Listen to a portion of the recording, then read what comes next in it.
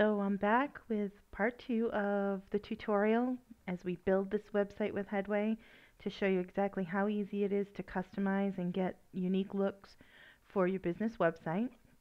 In the last tutorial we gave ourselves some custom colors. We had moved the navigation up to the top. Now I've moved, moved it back down at the bottom because I liked it better there.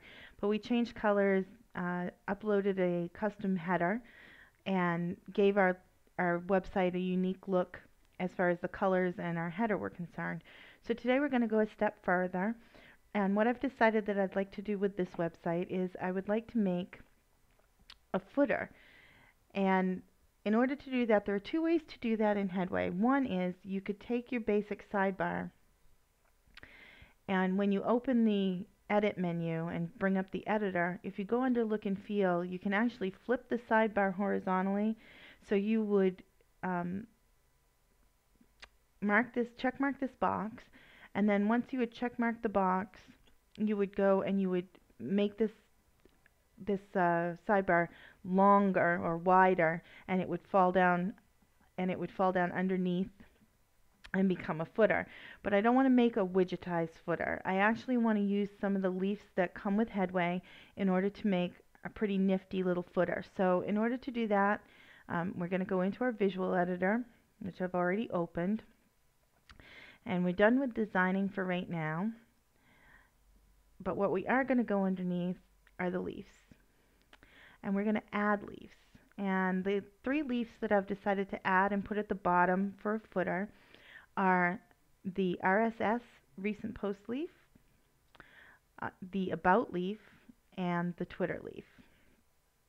And before I close this uh, or push this back to the side, I'm also going to enable the arranging and the resizing. Makes it easier to see. So the first thing I'm going to do is I'm going to resize these a little bit because I want them to go all the way across the bottom.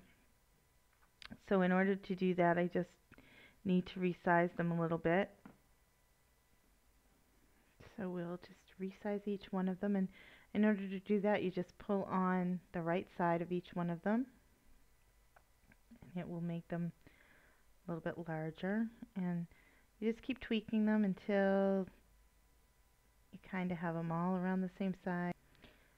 So you just keep pulling those just a little bit until they're all sized about the same.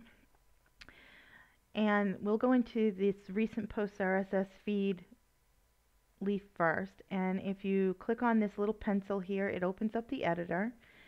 And you can either use recent posts from your blog on this website or you can use an RSS feed. And I'm going to pull from an RSS feed because I want to pull it from my Clerical Advantage RSS feed. So I'm just going to input my RSS feed. And the item limit you can have, I, have got three in here, that's the default. I think I'm going to leave it right at that, but you could have more, you could have just one showing, it really doesn't matter. I don't want to show the post date. Underneath miscellaneous, this is where uh, we can shoot, choose to show the title or not. Uh, we could actually just have those um, those posts feed in there without a title, but I want a title and I'm going to change it here in a minute. We're going to exit out of that and if we double click here I can actually put at clerical advantage so that you know what the feed is that's coming in there. The next thing I want to do is, if you can see here, this is the little box with a little green arrow pointed down. This is to toggle the fluid height of the leaf. And what fluid height does is when you toggle that, it's going to uh, make that leaf as long as it needs to be to fit those three posts in there. So all of your content, it's going to adjust its size depending on the size of the titles that come in there or whatever. So we want to do that on all three of these. We want them all to be toggled. Then the next one we're going to edit is going to be the About leaf.